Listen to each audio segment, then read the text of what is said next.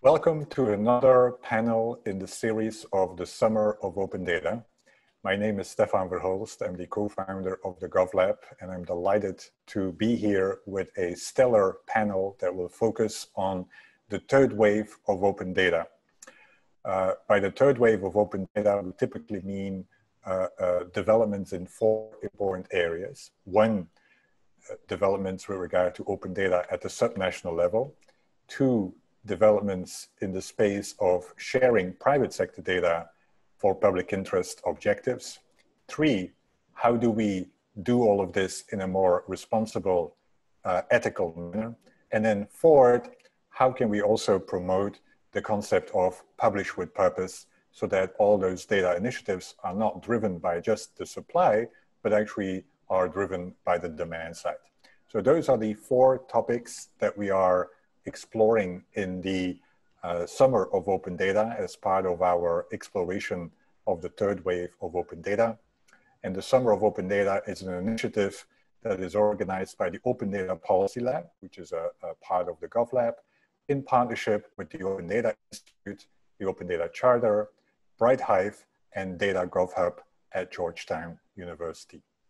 With that, let me start uh, with the panel, and I will ask each of the panelists to introduce briefly themselves so that we get a sense of uh, who is in the room here, and then we will uh, dive into a few of those areas that I've raised with regard to the third wave of and let me start with Kara.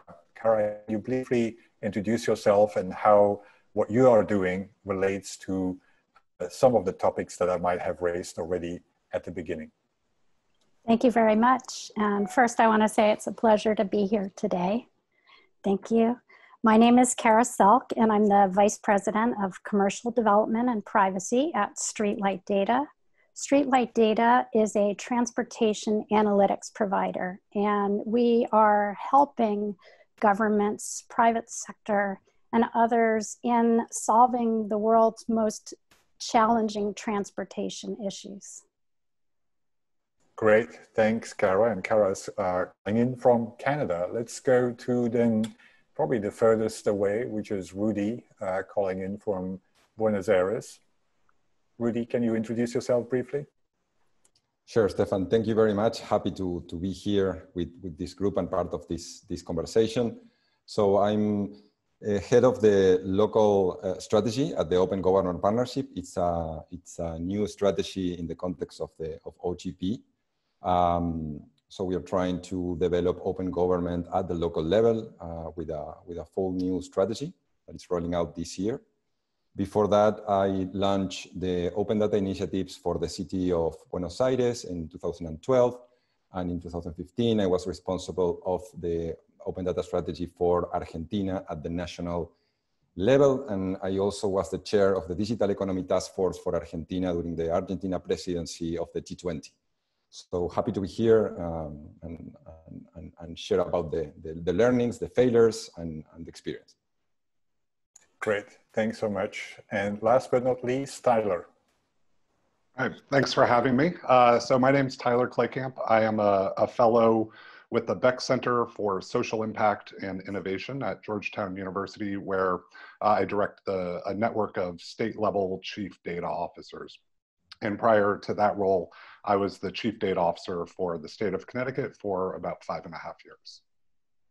Great. So let us start there, uh, Tyler, and pick up uh, uh, where you left. Uh, so you were a chief data officer within the state of Connecticut. And so one of the areas that we are looking into uh, with regard to the so-called third wave of open data is really on how can we accelerate the uptake of open data at the subnational level. Uh, and so we'd love to get your experience and also a sense on uh, how is uh, open data at the subnational level doing, especially at the state level? I mean, there's a lot of focus, for instance, at the city level, but the state uh, quite often, uh, or the provincial level, uh, quite often still has a long way to go. And I would love to get your sense on the current state of play and how to go about it. Sure, thanks. Um, so I, I, think with the, the COVID pandemic has really shown a light on state level data and generated uh, some fairly significant interest that I think maybe wasn't there, you know, back in uh, January or, or even previously, where we saw a lot more focus on either uh, national level open data or at the city level. Um, we actually, uh, in January, read every governor's state of the state address, and they barely ever mentioned data. And then today, uh, every day they get up and talk about data. Um, and so, well, I think over the years there there has been uh, progress made in uh, subnational and state level open data. I think this pandemic has also highlighted uh, how much additional progress uh, can be made at the state level. Um, for instance, during the pandemic, I think we're seeing actually some regression in some states where uh, they lead with these dashboards uh, with case statistics and then aren't opening up the data um, that powers those dashboards. And in some instances, when they were open, uh, they actually uh, make it less open, uh, if that's if, if, that's a term. Uh, but we're we're also seeing um, a lot of states where um, they're leveraging this current crisis to to provide additional data sets that that maybe they wouldn't have thought of before. So whether it's uh, more detailed or granular level case counts, um, or even uh, data around economic indicators such as weekly applications for benefits, things like that. Um, we are seeing some great progress and we're seeing additional partnerships um, with either private sector or academic institutions uh, as well to, to make data sets available. Uh, and we're also seeing the, the private sector step up and start to share more and more data uh, with state governments to help them, whether it's to, to do modeling or understand you know how people are moving moving about during the crisis. Um, I think some of the challenges that we see particularly at the state level are um, in many ways based on what is in essence the, the sort of end user of state level open data who is that audience we're kind of seeing uh, during the pandemic that it's going to be journalists, uh, academics, modelers. There's there's all this interest in it. Uh, when hopefully this crisis is over, um, will those organizations still have the same level of interest in state state level open data? The the thing we consistently hear uh, across states is really who's actually working with our open data. Um, how do we improve feedback loops, uh, understand who our users are, um, and how states can, can really improve it. So states really, um, I think, want to continue to grow uh, in, in their availability and accessibility of open data, but I think there's often a struggle to figure out uh, who the audience is when, especially we've seen, I think, predominantly at the city level in large urban areas, you have a more concentration of maybe civic-minded technologists or, private sector companies that can really harness that data and, and sort of turn it into something at a city level. But if you're in uh, North Dakota or even here in Connecticut, where our biggest city is 125,000 people, um, you know, we, we don't tend to see that pay off at the state level. Um, so I think that's that's sort of the thing that's going to really help um, supercharge states in a way is, is kind of now that the, there's this new sort of focus, whether it's on these unemployment systems that aren't working, there, there's sort of this renewed interest in state level government that I think will in turn generate uh, renewed interest or increased interest in uh, state level data.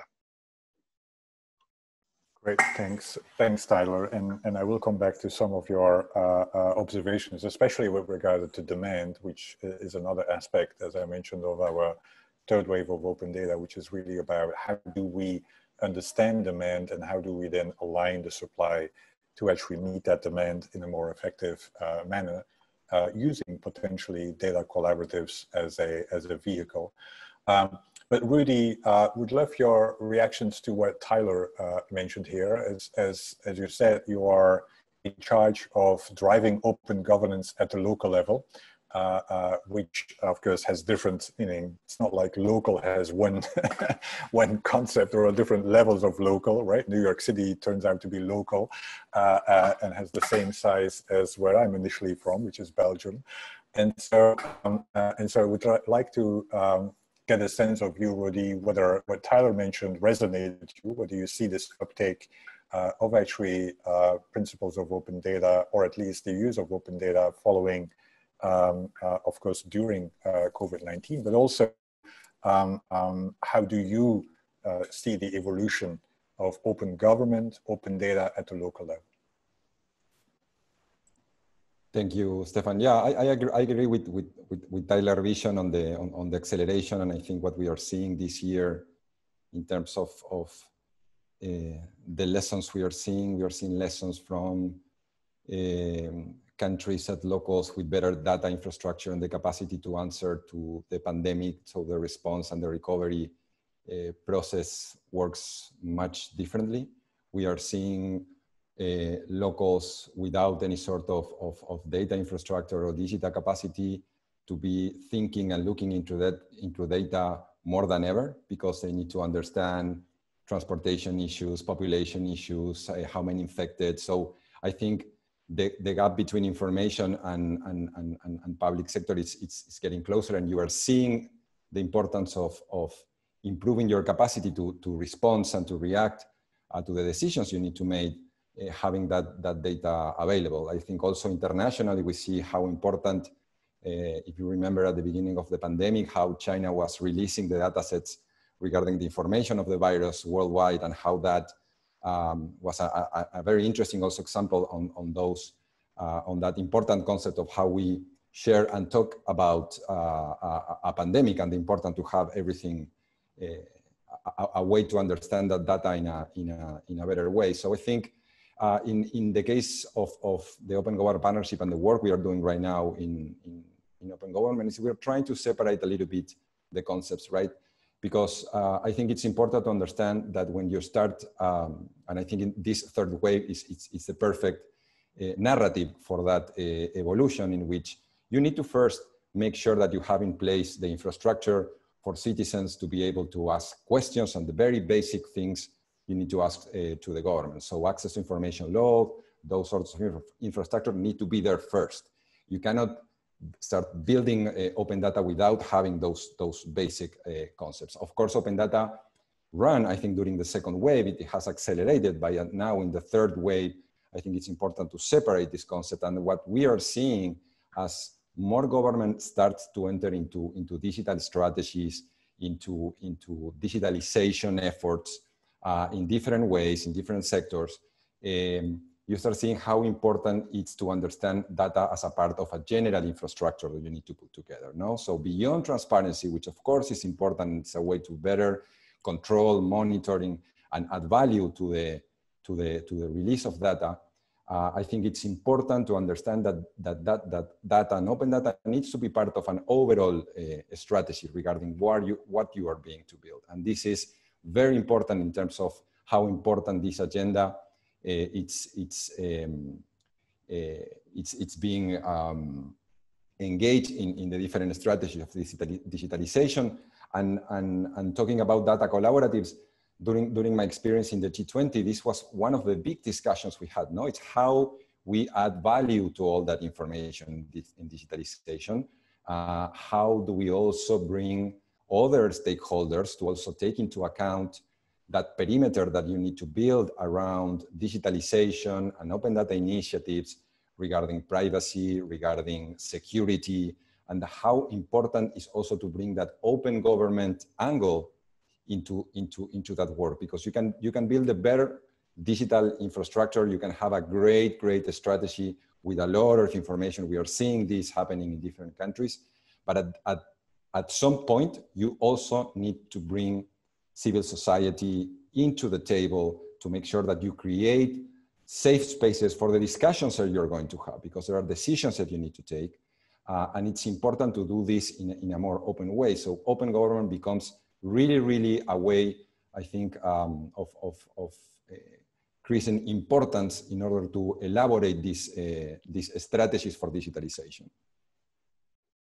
Great, Rudi, and and and, and I totally uh, agree with you. Is that some of the work we've done on open data, and especially uh, around uh, how do we strengthen the strengthen the demand side of open data, are not feasible if there is no open government kind of strategy at the same time, because you do need to have like this openness within government to listen uh, to the demand side in order to have a demand-driven open data initiative. And I think that's why it's so crucial to not only focus on open data, but also have an open, I guess, strategy attached to open data because that makes it feasible to be more demand-driven. Uh, otherwise, it's it's it's more of a know, a push strategy and never really achieves that kind of push-pull kind of uh, uh benefit uh, of uh, doing open data differently. And so let's go to Kara, meaning uh, the private sector was already mentioned several times and also uh, Rudi uh, alerted that we need to really understand uh, the value of data and, and, and expand that notion. And so what would I would love to uh, learn from you, Kara, uh, how you are interacting as a private sector player in the data space. I mean, obviously you have a lot of data and how do you then uh, um, leverage that data to inform uh, decision makers such as governments and what kind of partnerships, collaborations uh, do you see emerging uh, uh, coming out of uh, all your work that you've been doing? Well, first of all, I want to say I agree with my co-panelists that we have made significant progress. And I'd like to point out that it's a, probably a good thing that we had the first wave and the second wave before we got to this COVID situation. If we all think about what we, we would be up against if we were looking at data sharing and collaboration, if we did not already have made, if we had not made so many strides in terms of open data, open government sharing and data collaboration. So ha having said that, I, I do see that there's been more open data sharing at all government levels. And there's also been some true engagement at the private sector level. And I'd like to highlight a, a, few examples. The first is the activities of the mobility data providers, the, the scooter companies, the, the bike shares, and, and so on. The second is the standardization efforts that are really fostering further collaboration between public and private sector. And also the third is a recognition by private sector companies with social equity as part of their mission and value proposition that it's very important to collaborate with government and, and others to solve some, some problems, major, major challenges. And fast forwarding now to the, to the COVID situation, I'd like to share uh, an experience that I had at, at Streetlight. And this is in the form of what we call VMT or vehicle miles traveled. When the COVID 19 pandemic started, we thought, what can we possibly do to help in this situation? We didn't have a lot of time to worry about fancy license agreements and so on. And we went to our partner Cuebiq and we said, what can we do together? And what we did was we came up with a free VMT monitor that, that we've set out to the world. And it's gotten quite a lot of uptake to help offer perspective at a time when with transportation, you can't go and measure traffic I mean, you just can't send people out to the field and, and do that. The streets emptying, manual measurement wasn't an option. So how could we possibly provide this very critical stat? And in doing so, the, the goodwill that it created was really tremendous. We saw hundreds of news stories uh, using our vehicle miles count uh, counts to inform the public to tell the public about what's going on in their cities. And we also got quite a lot of leads on the, on the commercial side. Um, in addition, it also has helped us in working with researchers to better understand the relationships between mobility and the spread of COVID-19. And for example, we did something, we've done something with Rice University and also with LADOT to manage the availability of transportation services specifically to underserved populations throughout the pandemics. And I, I think it's important to highlight that, that these are presenting us with opportunities to actually look at serving underserved populations. Um, and the last thing I, I want to share is that in the transportation world, it's important to recognize that, that there is no single company or government that has the full visibility over the trans, transportation landscape, especially now. So we must engage in open data sharing and collaboration. Otherwise, we will be stuck. Great, thanks. Um, uh, Kara, can you tell me a little bit more about what exact data set uh, we are talking about? So I know Cuebiq, of course, and, and, and, Cuebiq is more of location intelligence, but, but you enriched that with other data. Or right. is that, yeah. Right. So uh, we we work with Cuebiq on a number of uh, different fronts. They're a, a, supplier to us for our transportation metrics. Specifically, what what we did was we came up with levels, which is a very uh, count in the transportation world, looking at every single in the contiguous United States to help figure happening with the by day and by week. You know, you you've you've have the statistics saying that travel vehicle miles traveled went down 95% but now it starts creeping up and creeping up and creeping up that is a very important statistic a very important economic indicator that is useful across society Right, that's useful. And and so um, coming to um, um, something that I will ask Tyler as well in a second, but uh, starting with you, um, uh, Kara, is that um, one of the elements that uh, we have looked into with regard to data collaborations, i.e. working with the private sector around data like uh, the one that you have, one of the elements that we have uh, identified is that it's very hard to engage with the private sector if you don't know who to talk to. and uh, I always make the back joke is that it's uh, data scientists complain that 60% of their time is spent on cleaning the data.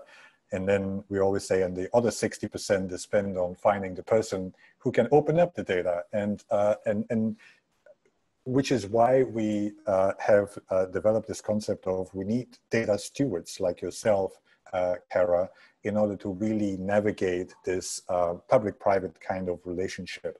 So tell us a little bit about your own position as a data steward and, and, and what are the, um, the skill sets that uh, you feel are necessary in order to scale data collaboration uh, to a level that uh, uh, we feel anyway is necessary.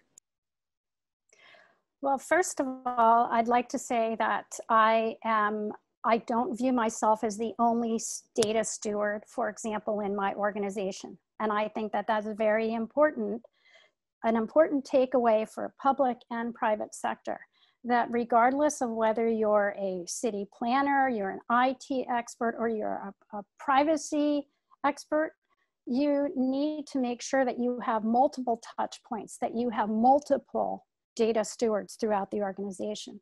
So for example, at, at Streetlight, we have a data partnerships person who is the eyes and ears on data stewardship and other data, uh, data sources that are available. We also have somebody who's responsible for our academic research program. They are also a data steward. We also have people who are data scientists and they are constantly on the lookout for other uh, interesting data collaboration efforts. So to summarize, I think that it's not, it's not one size fits all, and we need multiple data stewards across organizations. Great, awesome. Thanks so much, Kara. And of course, I could, anyway, go on that topic forever with you, but uh, uh, going to Tyler, uh, having been a chief data officer, uh, um, do you think a chief data officer has the in the current, uh, and of course you have also your network, uh, um, in the current um, configuration of what the role of a chief data officer is, do you think a chief data officer has the capability to be more of a data steward? Or are the immediate tasks of actually anyway, building the infrastructure and serving uh, internal clients uh, uh, are, are those taking over and have a, a more designated set of data stewards across government? Yeah, I, so I think what what we would envision as as sort of the model is is the latter example there, where um, so if you think about how state level government works, you have um, if you have a chief data officer, they exist in an uh, a, an agency, and then you have a Department of Health and Human Services and a Department of Transportation, and um, they have those are in some ways very different data, but uh, transportation can be a healthcare issue and healthcare can rely on transportation as well.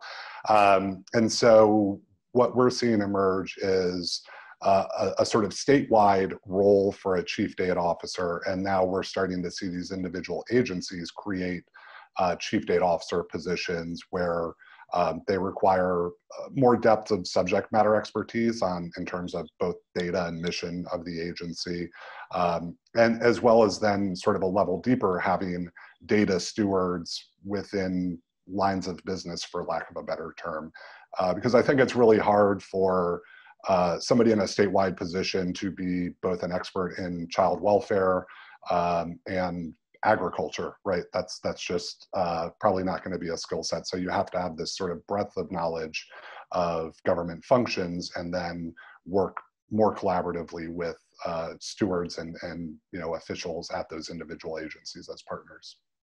Great. Stefaan, can I um, pipe of in course. something here? Of course, of course. This is the the ultimate dream is of having panelists start talking to themselves so that I can anyway stay out of the picture here. But yeah, go ahead. I'd like to I'd like to pick up on something that that Tyler said.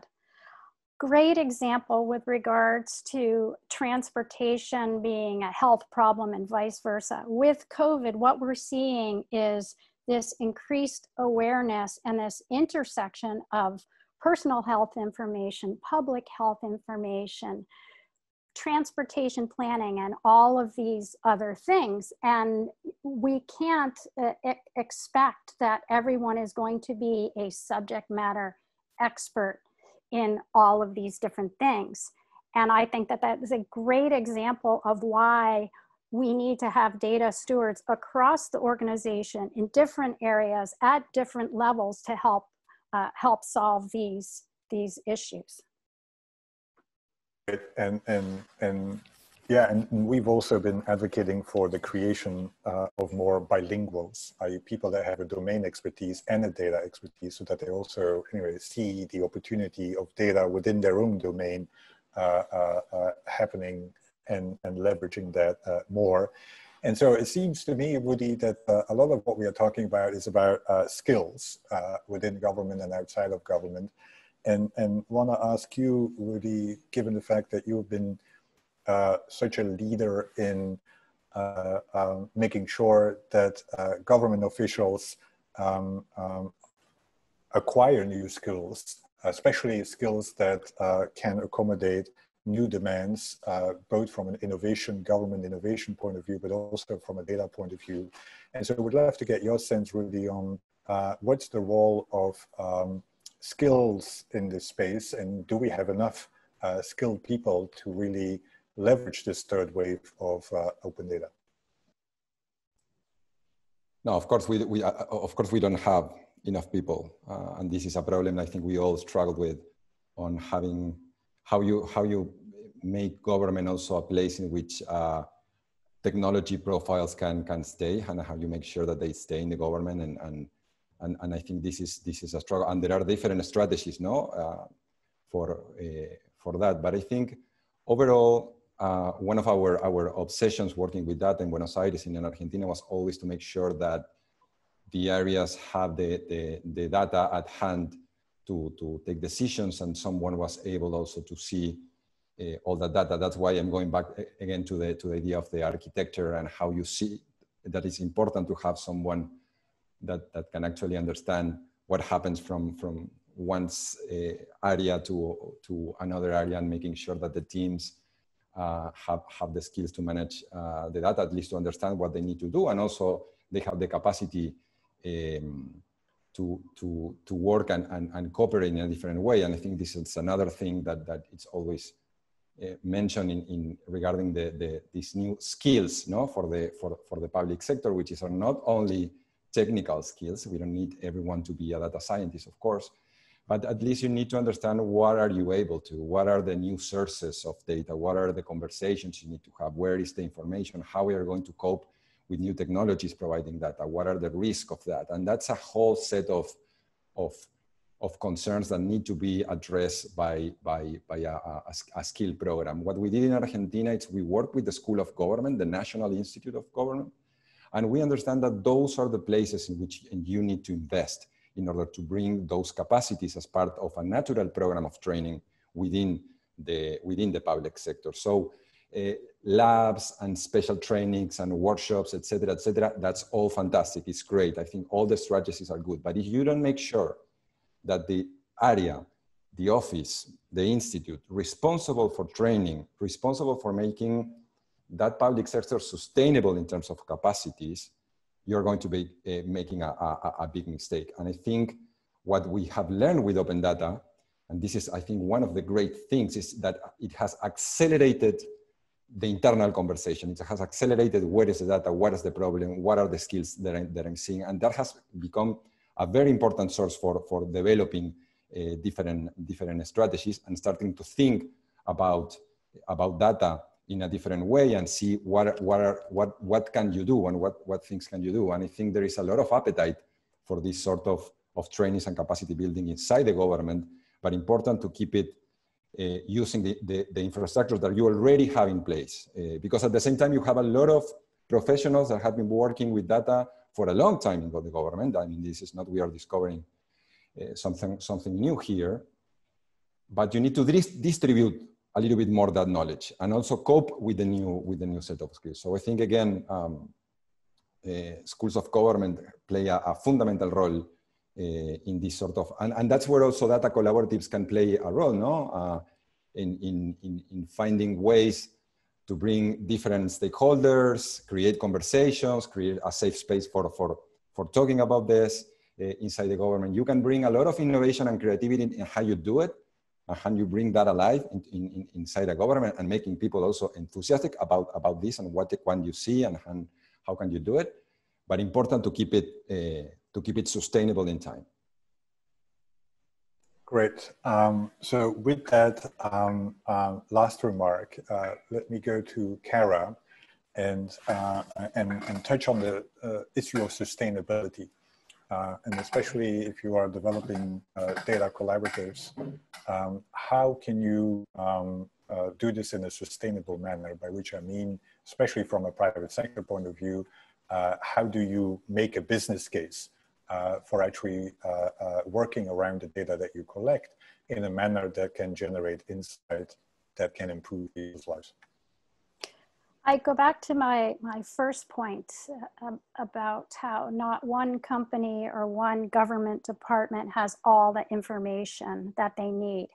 So to me, it is a given. It is fundamental that we are working in, the, in this, these, this age of data collaboratives, and we, we really need to do this. One of the things that I think is going to make this more sustainable and help it grow is to focus on the purposes. So to ask the question, for what reason am I collecting this data and how do I anticipate using it? And do I need for this particular use case real-time data or can I use archival data? And if I can use archival data for 90% of my transportation planning use cases, then for what purpose am I requiring private sector to give data, ongoing data dumps of, of this live, live data. And I think that everyone has this appetite for more and more and more data, but I think that we need to very narrowly focus on the use cases and say, what data do I need for what purposes? And to not just collect it because you think that someday you may have some, some purpose for it and I, I think that that goes to part of what Rudi was talking about is working with the infrastructures that you have in place. And if you have very eager people who want to think of all these brilliant ways that they can, they can use the data, that's great, but that may not further the institutional or societal priorities. Great. Um, thanks. Thanks, Kara. Very insightful. And uh, I think we, we've entered the um, Make-A-Wish uh, uh, uh, part of this series. And so, Tyler, if I would give you a magic wand and say you can use it on one thing to make the third wave a reality or more of a reality, what would be your priority? Um, I, I, I, think uh, to touch on Rudi's comment earlier, we need more capacity uh, at the at the state and subnational level. Um, chief data officers are they're often just one person in state government trying to open data, share data, do all sorts of things. Some are lucky enough to have three or four people, and then as you get into those individual agencies, again, they just lack the capacity um, to do this in a very thoughtful manner. So um, I think for me, the if I had the magic wand, I would send you know five to ten uh, talented individuals to every every state in this country, uh, and I think we'd start to see more progress. Great, thanks so much. Um, uh, so so very important to invest in the human infrastructure in addition to the uh, technical as well. Rudi, um, if you would have a, uh, a magic uh, genie uh, that uh, you can ask uh, uh, a wish and you only have one option, what would you what would you ask? make coronavirus disappear? Can I? I, I read that. well, that's anyway. That's a given. no, no. I think I, I, to be honest, I, I, I, I totally, I, I will build on, on, on Tyler's comment. I think um, capacity building inside the government. This is a conversation we are seeing today, accelerated today by COVID on, on, on skills and also uh, the big uh, data gaps, skills gap that we are seeing, people affected. Um, so I think I think this is this is important. No, the future is here, but it's not evenly distributed. And I think with skills, it's exactly the same thing. We are seeing a lot of innovation happening outside the government. We are going to we are seeing the, the growth of the GovTech also uh, narrative, which is very interesting um, to bring like new services and just right creating those connections between between the government data and new sort of services that can can can bring new ideas to the table. And you need to have that internal knowledge distributed, uh, uh, following on, on, on Kara's comment to making sure that every area that has the specific knowledge on a specific theme has also that skill set to, en to engage in those sort of conversations, that, that everyone feels that it's part of, that's why I think it's not only, and I, wanna, I, I don't want to make, make, make the comment too technocratic or, or, or digital optimistic in this sense, because I think those training uh, programs, those capacity building programs regarding to, to, to, to digitalization, to, to acceleration of, of the digitalization need to be very broad. No? You, you need to also understand how uh, to better work with other teams, how to better cooperate with other teams, how, what's the logic and, and, and, and COVID has accelerated that, that situation, no? has put us on the, on the situation of the transportation um, ministry or unit needs to talk with the health ministry, need to talk with the sanitation, etc. Et and so you need also, uh, that's why I think in, regarding the skills, this is, I think, the important, the important lesson, lesson here. And most of the capacities are there. It's not like you need to invent something new or create a new narrative.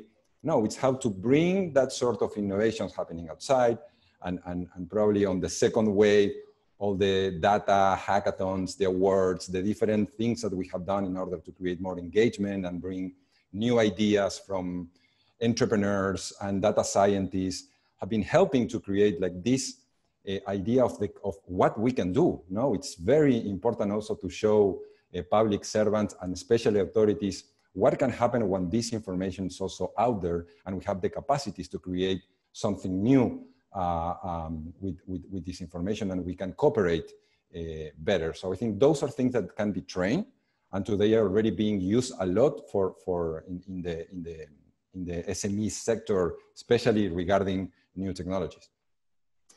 Great, thanks, Rudi. And it reminded me also of uh, actually that I guess the, the, one of the first times when we engaged was around this concept of even building an expert uh, network that actually would understand who knows what within government. And, and, and I feel like uh, uh, because the assumption quite often is indeed is that we don't have any capacity in government uh, and that we need to find it or create it, but that ultimately uh, uh, what we tried to do with the expert network was to even try to understand who knows what and how can we then connect that. And so it seems to me that if we only had figured that out, we would have probably uh, of course, and you've done quite a lot of work in that space as well, but that seems to be still a, an important objective. Uh, uh, would you agree with that, Rudi?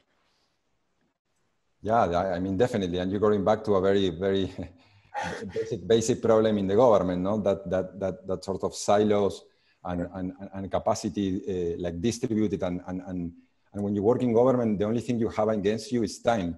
So how to accelerate that, that, that knowledge sharing, who knows what, um, it's it's it's and, and and then again you see where where open data can play an important role. No, when you launch when we when we launch the strategy in Buenos Aires, we sort of concentrate the data the data collection in in the in in, in our office. So we we we brought those knowledge here, and then at the national level we distribute that uh, responsibility to create be better capacities in the different in the different areas. But open an, an open data strategy gives you really fast some sort of inventory of who has the data, who manages, what's the format, who is in charge of this, what are the problems, why, what are the rules that I need to put in place in order to share that data. So I think, I think those strategies are also very useful in terms of how to accelerate that knowledge and, and, and, and, and that kind of creates that, that uh, realization, as you were mentioning, of, of how important it is to improve the way how knowledge is distributed inside, uh, inside, uh, inside the government. Great, great. Kara, you, you have the last word. Uh, so if, if you would have a magic wand, uh, what would be your, uh, your wish and uh, uh, priority? I agree that education, training, capacity building are all very important. But I, I think that if we turn this all on its head and we think about how governments are there to serve citizens and let's put the citizens first and think, okay, what are the top 10 challenges that I'm trying to deal with, to solve, the problems I'm trying to solve within my government, whether it's state, regional, or local government. What are the top 10 things that I'm trying to solve? And that's a use case approach. And you start with number one and you say, okay, this is the number one uh, thing that I'm trying to help, that I'm trying to provide to my citizens. In order to solve this, who are all the stakeholders who need to be involved? What is the open data that I have available in my portfolio that I can walk down the hall and I can get? Who are the public, the private sector partners that I can turn to, whether they're the ones that you're already working with or ones that you just found on, on the internet? And in that way, you can use that information to then go out and do citizen engagement and get people interested and understanding why you are collecting this data, what you're doing with taxpayer dollars, and how this is facilitating everything from contact tracing to figuring out where new bus and, and bike routes need to uh, be put in place. Right. So, so you would advocate, which is very interesting because I've been uh, having several conversations about uh, what you here proposed. So you would advocate a more mission-driven kind of uh, uh approach to to actually building collaboratives and and and even organizing towards yes. actually solving problems that are uh, deemed to be prioritized. Yes, because otherwise we are just swimming in the mess of all of this what people have been calling uh, big data. And no matter how well we as private sector companies or individual governments are good at organizing our silo, uh, our space, the only way that the data is useful is if we are solving real world problems. Great. Well, couldn't think of a better closure of this uh, uh, panel. Thanks so much, uh, Kara, Tyler, Rudi. Thanks for joining us, and thanks to the audience for uh, staying uh, loyal to our Summer of Open Data. And thanks also to our partners, the Open Data Institute, the Open Data Charter, BrightHive, and Data GovHub. Thank you, and uh, stay safe. Thank you. Thank you.